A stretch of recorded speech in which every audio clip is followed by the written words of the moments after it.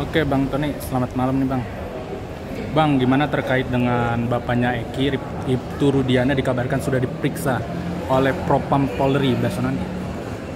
Ya, baguslah karena pemeriksaan itu ya oleh Baris Krim Polri bekerja sama dengan Polda ya, Propam, itu kan berarti e, institusi Polri itu e, sangat respon ya dengan situasi sekarang ini ya dengan e, apa saksi-saksi yang bermunculan yang pada e, tidak mengaku yang kesaksian di persidangan bagus lah jadi segera menindaklanjuti untuk menjaga institusi Polri.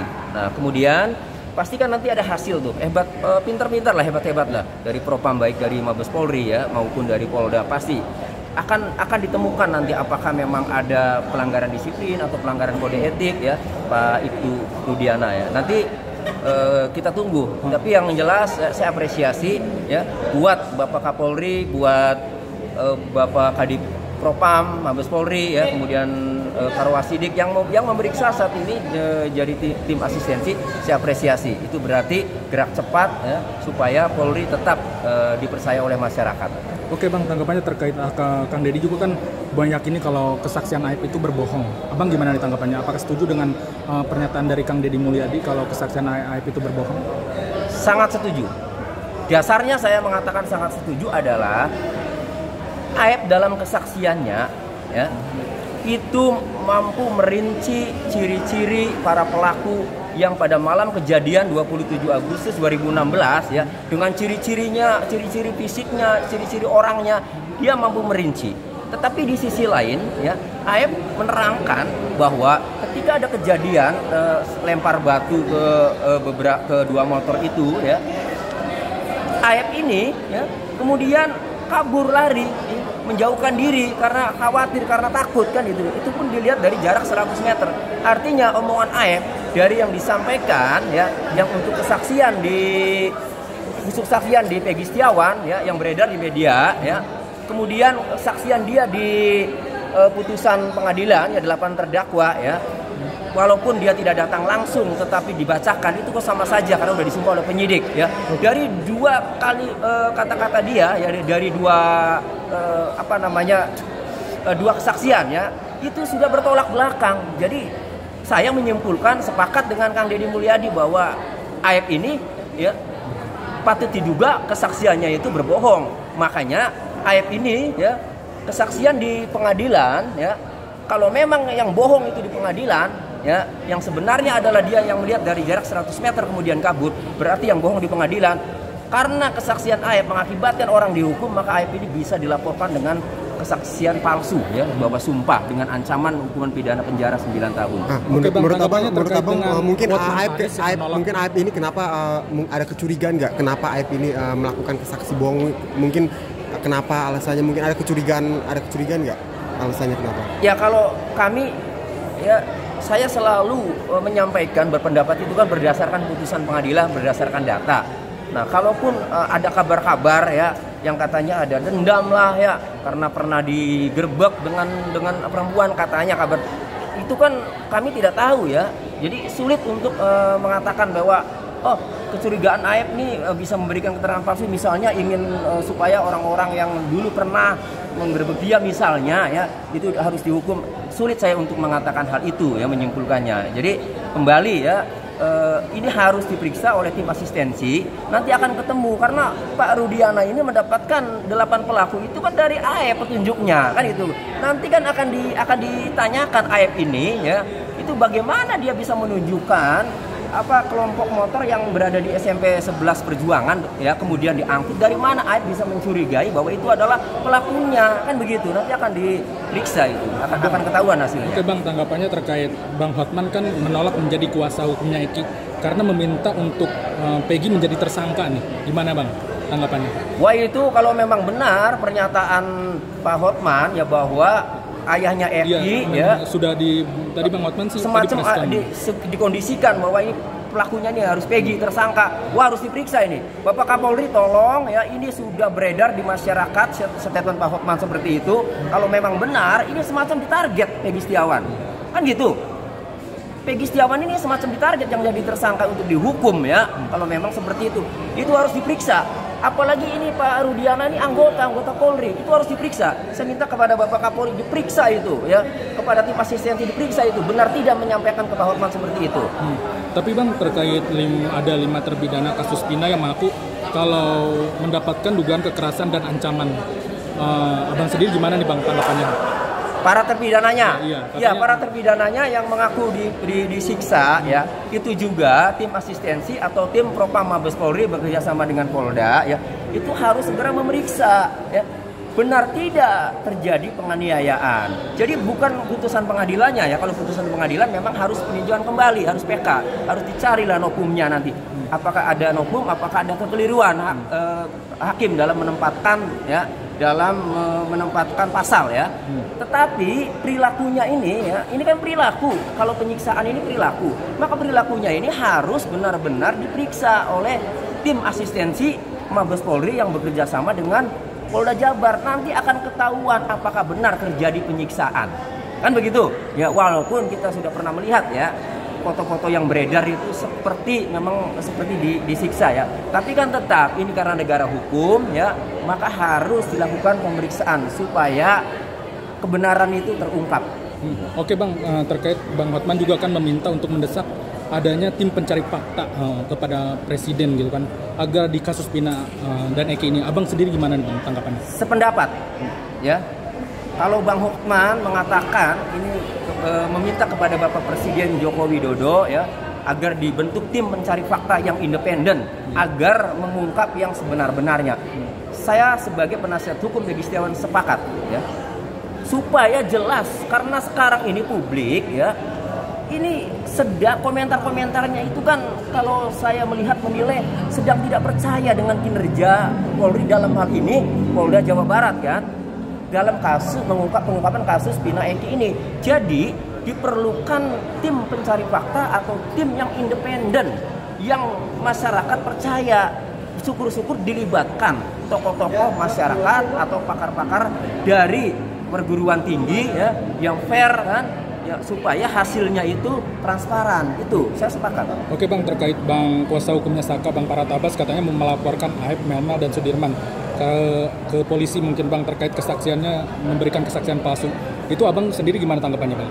Ya kalau saya lihat itu untuk me, me, mendapatkan opum ya. Jadi kalau nopum ya kalau hanya pengakuan-pengakuan saja menurut saya itu bukan nopum. Nopum itu harus dijadikan dulu putusan. Nah putusan pengadilan yang sudah berkekuatan hukum tetap yang isinya ya ada keterangan palsu dari AF kemudian dihukum diponis maka putusannya itu bisa menjadi nokum untuk membebaskan kliennya sakat tatal kan? Termasuk juga pengacara Pak lima terpidana lainnya. Bisa itu dengan catatan tadi proses hukum dulu orang-orang yang memberikan keterangan palsu yang merugikan kliennya itu kan itu. Jadi uh, itu saya hormati langkah Farhad Abbas ya Berarti untuk ya melaporkan. Ya sepakat ya? Ya, saya hormati dan sepakat dan memang harus karena karena tidak bisa pengakuan saja untuk nokum tidak bisa harus dibuktikan dengan putusan enak kan udah ada putusan putusan yang menyatakan bahwa e, sebaliknya lah dari putusan yang kemarin ya e, kronologinya ternyata ada keterangan palsu kemudian diponis maka putusan itu ya menjadi nokum untuk mengajukan PK untuk terpidana itu. Bang, abang sebagai uh, pengacaranya uh, Peggy uh, Setiawan yang uh, yang diduga bukan ya, ab abang duga bukan sama sekali ya. Abang ada gak sih kayak kecurigaan terhadap Aib ini um, memberikan keterangan yang justru melindungi uh, pelaku utama yang asli? Ada kecurigaan ke situ gak bang? Kalau kecurigaan ada, berdasarkan informasi-informasi dari netizen yang dikirim kepada saya ya aib ini ada komunikasi ya itu itu berdasarkan uh, kiriman dari media sosial ya ada komunikasi sepertinya akrab lah ya dengan anggota-anggota geng motor kalau memang benar motifnya ini adalah motif ribut antara geng motor tapi paling tidak Aib sangat dekat di lingkungan tersebut ya kalau berdasarkan ya informasi-informasi di media sosial. Tapi apakah kedekatan itu kemudian dicurigai e, melindungi pelaku? Kan belum tentu juga ya.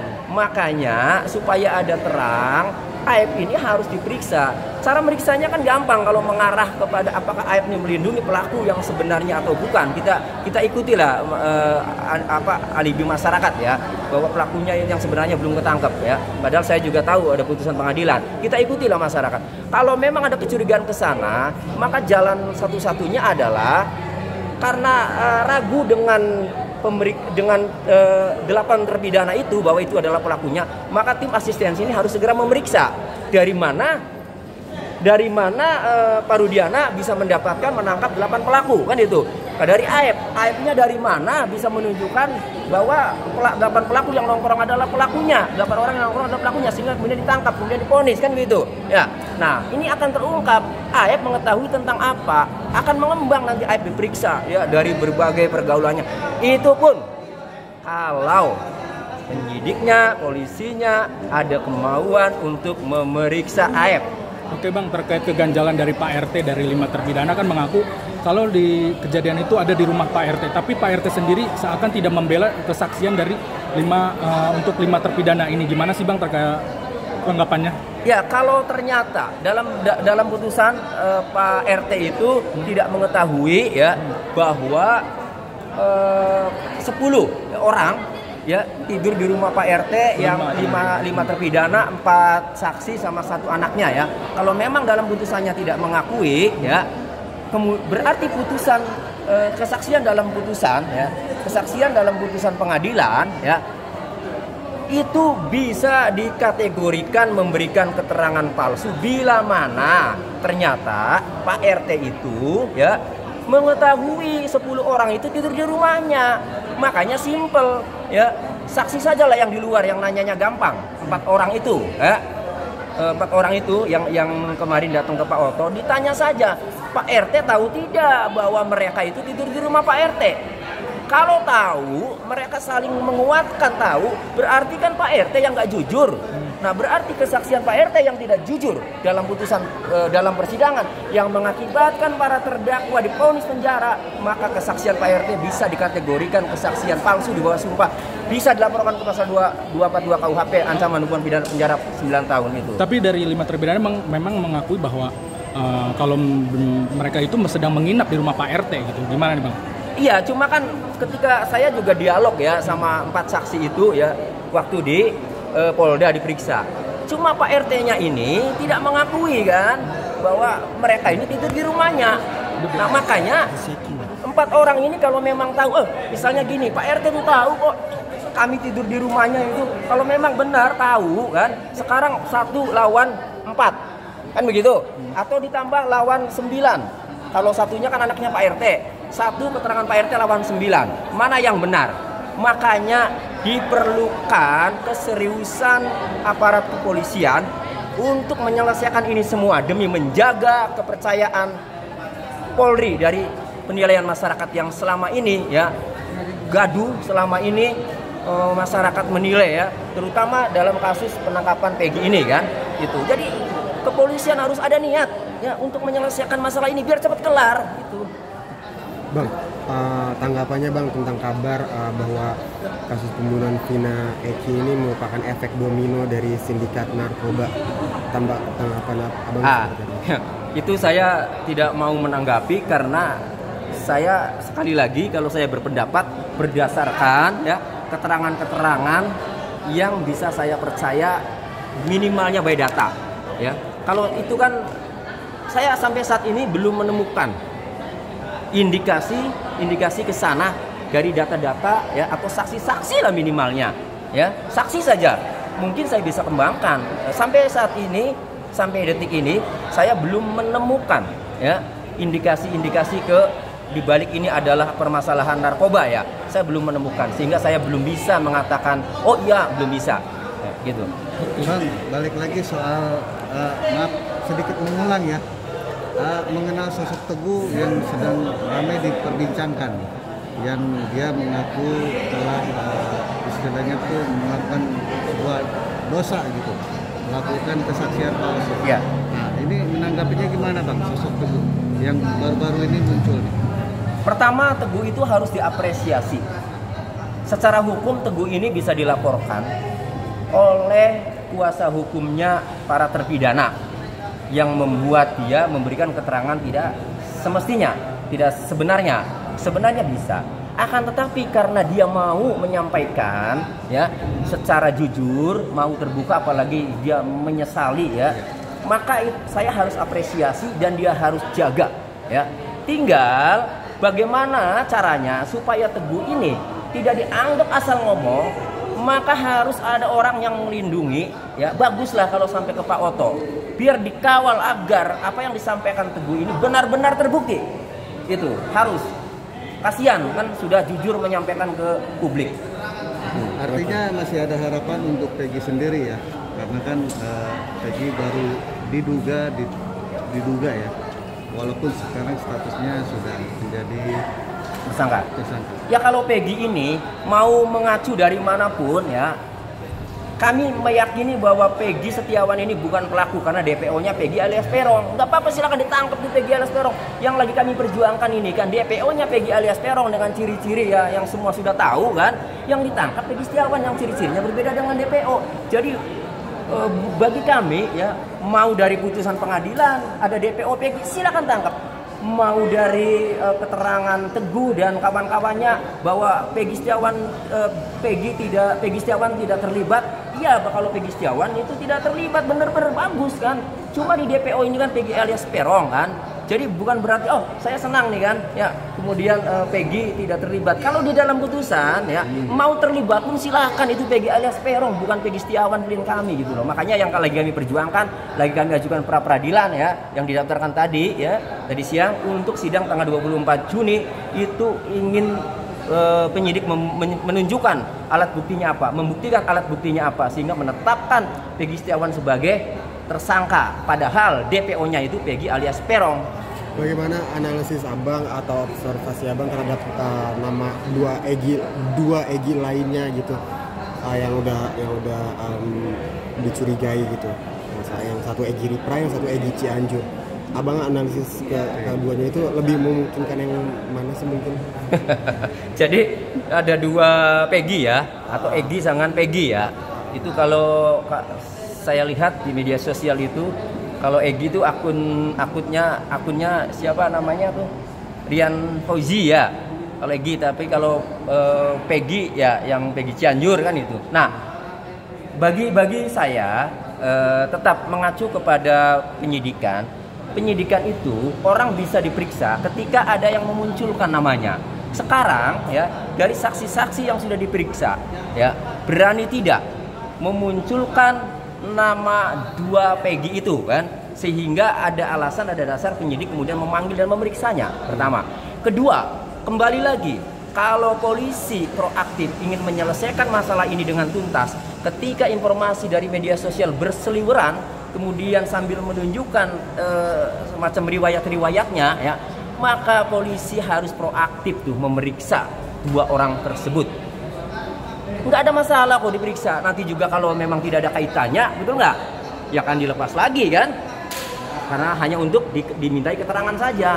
Kalau polisi ingin ya menyelesaikan masalah ini dengan tuntas. Jadi manfaatkanlah informasi-informasi yang diberikan oleh netizen, masyarakat, apalagi mereka dengan susah payah ikut bahasa mereka itu kami ikut nginteli, kami ikut nyari-nyari sampai pekerjaan katanya. Apa e, tidak tidak dikerjakan apa. Itu harus diapresiasi, kemudian ditindaklanjuti. Sampai ada titik terang. Ketika memang tidak masuk, tidak nyangkut ya sudah, kan gitu. Daripada nanti dinilai oleh masyarakat itu kenapa nggak diperiksa Pegi, Pegi Cianjur? Kan gitu ya. Itu kenapa nggak diperiksa Egi ini? Kemungkinan ini pelakunya. Daripada tidak diperiksa masyarakat malah mencurigai dianggap membiarkan. Gitu. Oke oke bang nah, uh, terkait soal yang apa adanya kemarin ini benar apa tidak ya orang tua dari Peggy sendiri diminta untuk melakukan tes psikiatri. Oh ya, psikologis. Iya, psikologis. Mungkin gimana menanggapinya Pak sebagai tim kuasa hukum? Tadi siang, ya. tim kuasa hukum Peggy Setiawan dan keluarga sudah memberikan surat penolakan kepada Polres Kota Cirebon ya kepada Polda Jabar melalui Polres Kota Cirebon. Jadi menolak untuk dilakukan pemeriksaan psikologis. Apa alasannya? Alasannya adalah pertama tidak ada relevansinya, tidak ada urgensinya bagi kami kan. Kenapa? Karena yang tersangka itu adalah Pegi Setiawan. Kalau Pegi Setiawan diperiksa, ya silakan silakan saja. Barangkali karena Pegi Setiawan ngotot eh, apa namanya konsisten tidak tidak ngakui memang bukan nggak melakukan kemudian coba dites kepribadiannya kejiwaannya siapa tahu ada eh, tanda-tanda uh, bahwa ini karakter psikopat, karakter pemarah, temperamen yang dihubungkan mudah melakukan tindak pidana silakan saja. Kan itu. Tetapi kalau ibunya Peggy Setiawan tidak ada korelasinya untuk apa di, di diperiksa ya mengenai kejiwaannya untuk apa. Karena bukan tersangka bukan. Tidak akan bisa menguatkan eh, apa unsur pidana yang dilakukan oleh atau yang ditemukan oleh penyidik terhadap Peggy menurut penyidik kan. Itu pun uh, saya juga belum tahu alat buktinya apa makanya digugat rapid kan. Hmm. tapi katanya ada mau tes kebohongan bang dari ya itu pernah uh, waktu selesai uh, pemeriksaan yang hari kedua hmm. itu penyidik pernah menyampaikan kepada kami langkah selanjutnya akan dilakukan tes poligraf atau tes uji kebohongan terhadap Peggy Setiawan tapi kami lagi-lagi tetap menunggu pemberitahuan atau undangan resmi sampai hari ini ya belum ada undangan atau panggilan resmi dari penyidik gitu. Bang, terkait yang marak juga nih di media sosial uh, sosok ayah dari almarhum Eki. Eki. Nah, yang lagi rame nih dikulik-kulik oleh para netizen juga. Menanggapinya gimana, Bang? Ya. Apakah harus uh, diperiksa juga?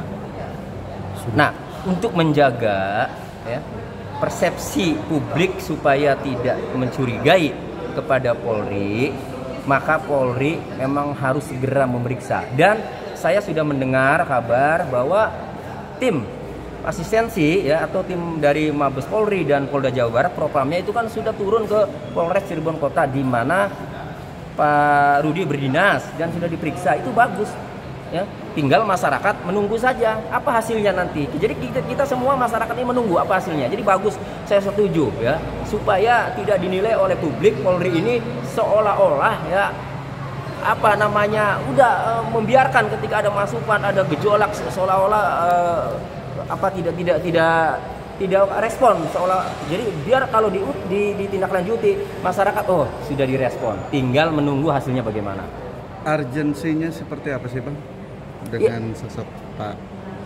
Ya, urgensinya karena muncul kesaksian-kesaksian ya dari saksi-saksi yang seperti kayak Pram, Okta Teguh kan, itu kan mereka melihat menyaksikan bahwa para terpidana yang sudah dihukum itu ya lima terpidana itu kan tidur bersamanya sehingga nggak mungkin melakukan tindak pidana. Urgensinya adalah lalu lalu Pak Rudiana mengamankan delapan pelaku saat itu. Dari mana? Kan gitu itu harus diperiksa kan? Kalau memang keterangan lima saksi tadi di Pak RT tidur bersama para terpidana ini benar lalu Pak Rudiana dari mana bisa mengamankan itu katakanlah dari AHEP AHEP-nya juga harus diperiksa. Dari mana bisa mencurigai mereka? Kan itu urgensinya. Itu jadi penting memang harus diperiksa. Nah yang diperiksa adalah saat ini saat ini adalah perilakunya dulu kan? Nah, karena kalau putusan pengadilan ya itu harus PK. Tetapi dari perilaku itu kalau sampai melakukan tindak pidana kemudian dihukum, diponis, maka putusannya itu bisa menjadi dasar untuk sebagai nopum untuk mengajukan peninjauan kembali buat para terpidana itu. Bang, netizen banyak yang menduga-duga ya, ini hanya menduga-duga ya, bahwa beliau ini terkait dengan permasalahan kasus uh, Vina, Apa? almarhumah Vina beliau ini Pak Pak Rudiana. Pak Rudiana. Iya. Ini netizen ya yang iya, duga-duga ya. Ya tadi kan sudah saya jawab ya. Karena karena kalau kaitannya dengan uh, ketidakpercayaan, kecurigaan para netizen ya terhadap bahwa pelaku itu bukan pelaku yang sebenarnya yang sudah terpidana, ini ya jelas ada kaitannya, makanya harus diperiksa. Tapi kalau kaitan lain ya saya belum bisa mengomentari seperti yang dikaitkan. Apakah benar? Ya ini kaitannya dengan narkoba karena dulu Pak Rudiana berdinas di satuan narkoba. Saya no komen nggak bisa mengomentari karena saya belum dapat data mengarah ke sana belum dapat Bang ini uh, udah berapa lama sih artinya uh, Peggy sendiri ditahan? Peggy sendiri ditahan dari dua dari, ditangkap 21 Mei, ditahan mulai 22 Mei. Nah, jadi kalau 22 Mei sampai sudah, sampai hari ini ya, itu berarti 20 hari penahanan itu sudah habis. Sudah habis. Untuk tahanan pertama ya, selama 20 hari tahanan penyidik. Nah, kan harusnya diperpanjang tuh ya uh, oleh jaksa penuntut umum. Dan informasi tadi siang, per tadi siang saya nggak tahu kalau ini ya selesai acara belum update. Per tadi siang ya itu di di grup kami penasihat hukum Peggy Setiawan belum mendapatkan pemberitahuan perpanjangan penahanan. Bang, dari pihak sana memberikan alasan apa sih Bang sehingga para tim kuasa hukum yang 60 berapa? 70 totalnya. 70. Uh -huh. Nah, itu belum bisa menemui kliennya uh, Peggy. Iya. Oh sudah. Sudah. Sudah. Sudah. Saya sendiri juga uh, ketika mendampingi dua hari ya ketemu terus. Bahkan isu-isu yang ada luka apa sudah saya tanya, lihat saya amati kepalanya nggak ada, udah ketemu dan baik-baik saja ya. Hanya kurusan. Kalau pertama segar waktu baru ditangkap, sekarang agak kurusan.